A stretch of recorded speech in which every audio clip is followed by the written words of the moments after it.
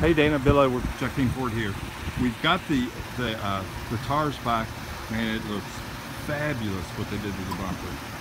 You know, when you came and drove it, it had that bad bumper, but we've got it fixed and it's ready to go. Dana, this is a beautiful, beautiful, beautiful car. Love the heated and air conditioned seats. I love the sunroof. Everything on it, I say, you drove it and it drove like a dream. I just want to show you that the bumper's fixed. Um, Dana, come see me. That 2011, let's say take and drive and show your husband. Uh, show him how beautiful car it is. Dana, again, this is Bill Edwards with Jack Kain Ford.